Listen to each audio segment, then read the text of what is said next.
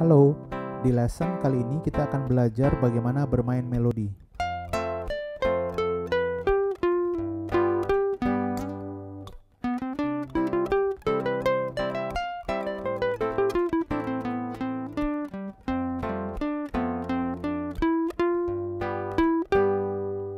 Kita akan belajar dengan menggunakan tangga nada C sama dengan Do secara diatonik.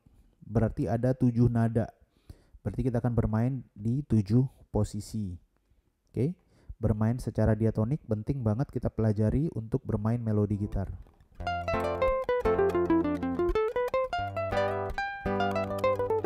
Gitu ya.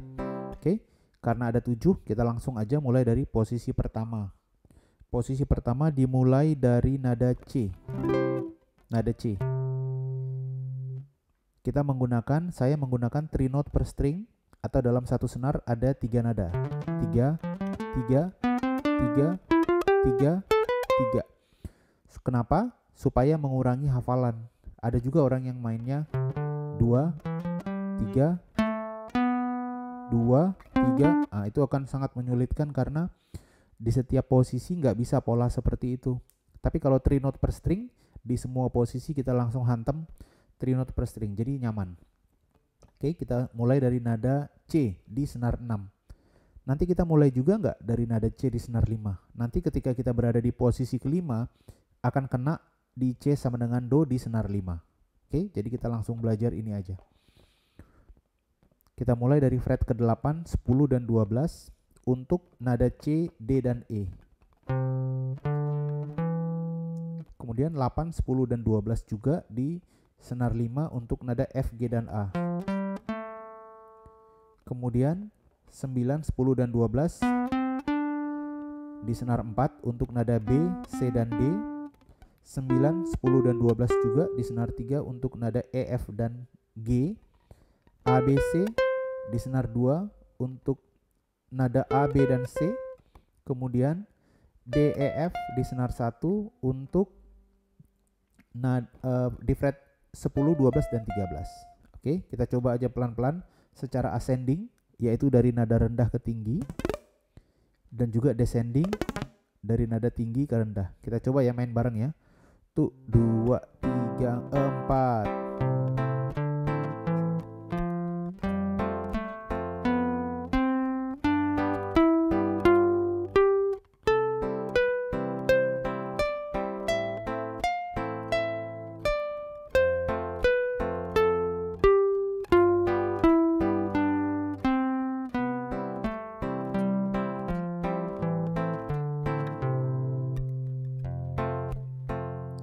Bisa pakai pick ya. Karena kita petiknya secara kenapa pakai pick? Itu membantu kita untuk main jadi lebih cepat.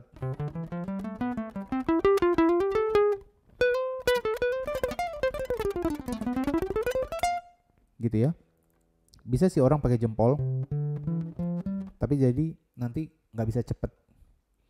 Ini posisi satu dimulai dari nada pertamanya yaitu nada rootnya nada C.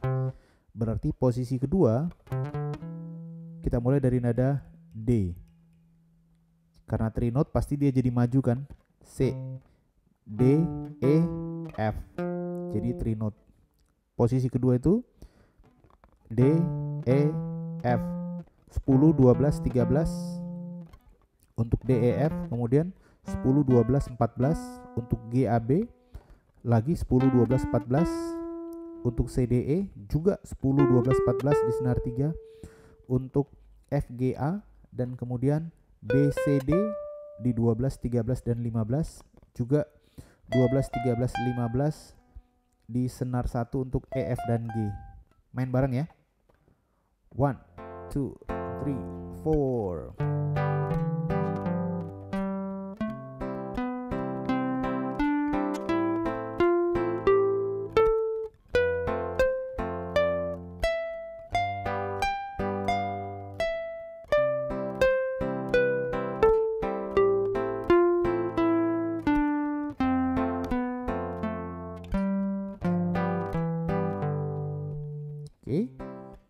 kalau kamu udah menguasai dua ini, maka kita bisa belajar untuk bermain melodinya. Yang pertama kita cuman mainin dari posisi satu aja. Kamu cuman perlu ngambil dua senar terbawah dari posisi satu, yaitu 10, 12, 13, 10, 12, 13. Hafalin.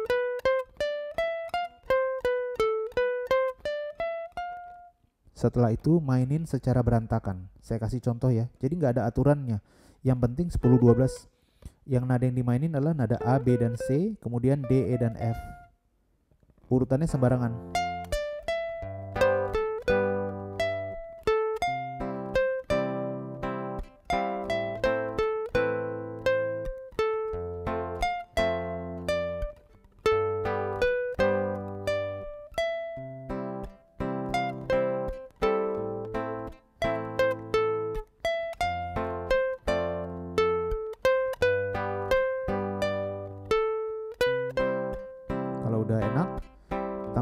Senar 3 yang di fret 9, 10, 12 tadi.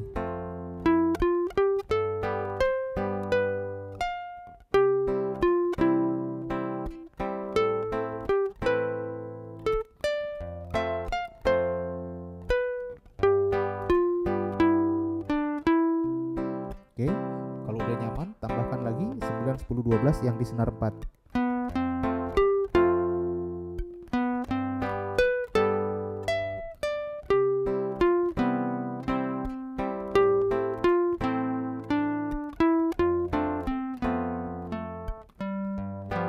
Tambah senar 5 dan senar 6 ah begitulah. Terus untuk membuat solonya.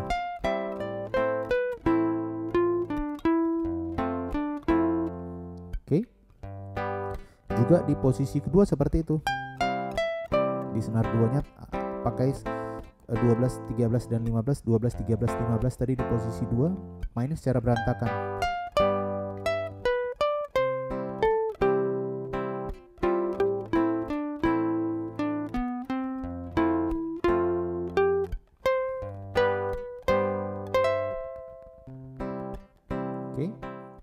Sekarang kita posisi 3. Jadi kamu bisa main seperti posisi satu tadi, main aja terus. Sekarang posisi 3 dimulai dari fret ke-12, dimulai dari nada ketiga dari C sama dengan Do yaitu E sama dengan Do. Eh sorry, nada E aja, bukan E sama dengan Do ya. Karena kita main di C sama dengan Do. E, F dan G yaitu 12, 13, 15. Kemudian 12, 14, 15 ABC kemudian 12 14 15 lagi untuk DEF kemudian 12 14 16 di senar 3 untuk GAB kemudian 13 15 17 12 13 12 15 17 untuk CDE kemudian FGA di senar 1 juga 13 15 dan 17 kita coba bareng ya satu dua tiga empat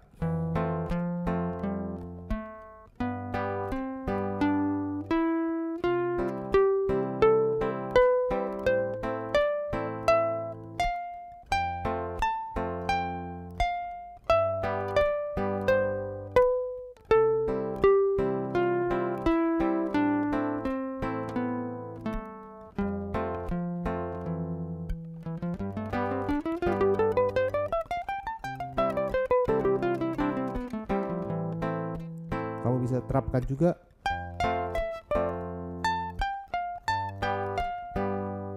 Bagaimana cara pindah posisi? Tinggal di slide aja tangannya.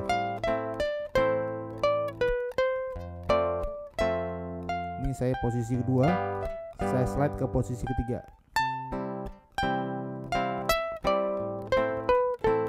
Slide. Saya sekarang ada di posisi kedua. Saya mundur lagi slide saya di posisi satu. Oke. Nah senar 12 ini sama dengan 0 jadi sebenarnya tadi kalau 12 13 15 sama dengan 0 1 2 3 oke. Sekarang kita di main di posisi keempat dari nada F. Nada F juga sama dengan di sini. Jadi kita langsung aja di sini ya. 1 3 5 235 235 245 356 tiga lima tujuh. Ada gambarnya bisa dilihat. Kita coba ya. Satu dua tiga empat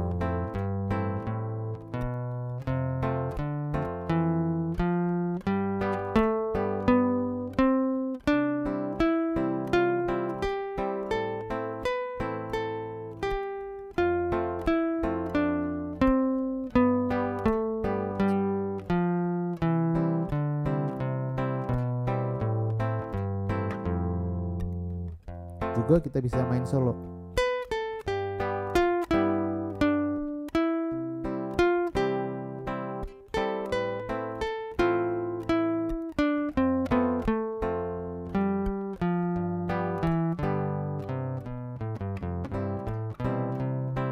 Oke, sekarang kita ke posisi kelima dari nada kelima dari C yaitu G.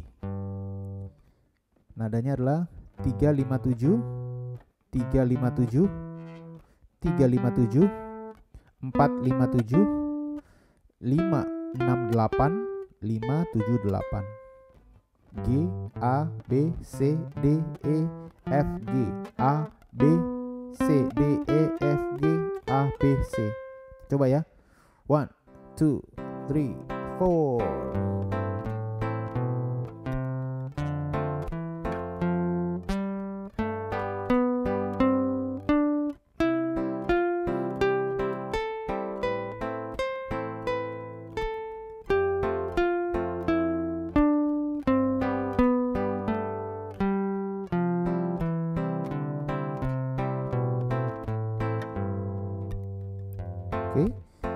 Jadi bisa diperlakukan main solo di situ juga. Kemudian dari posisi ke-6 dari nada ke A. Jadi C, D, E, F, G, A. Nada ke-6. 5 7 8 5 7 8 5 7 9 5 7 9 6 8 10 7 8 10 A B C D E F G A B C D E F A B C D. Ada gambarnya bisa dilihat. Kita coba lagi ya. 4 1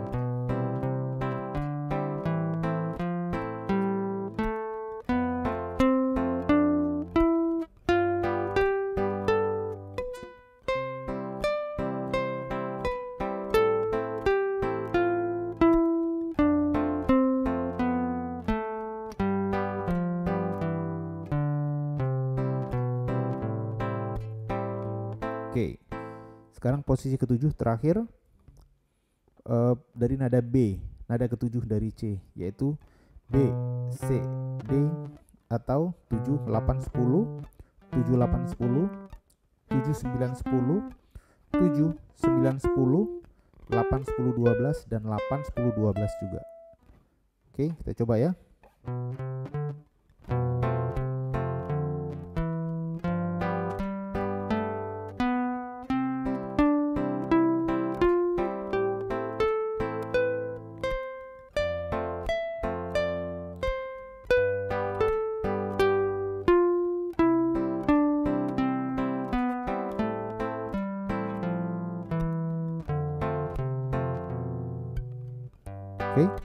Kamu bisa melatihnya.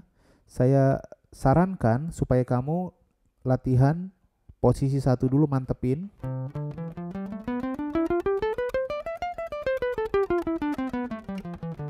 Kalau sudah nyaman di posisi satu, nggak harus cepat tapi nyaman, maka enam posisi lain akan sangat mudah untuk dipelajari. Jadi nggak usah harus buru-buru tujuh posisi semua dipelajarin. Nah, dengan belajar ini kita juga udah bisa nanti C sama dengan Do, D sama dengan Do, cuma tinggal digeser aja kok. Posisi satunya C dari senar fret ke 8, posisi satunya D berarti dari fret ke 10. Kira-kira seperti itu. Atau kamu juga bisa belajar G sama dengan Do yang saya bagi atas tiga lesson. Kamu bisa pelajarin juga belajar diatonik dari G sama dengan Do. Selamat belajar, semakin cepat bisa bermain improvisasi atau melodi.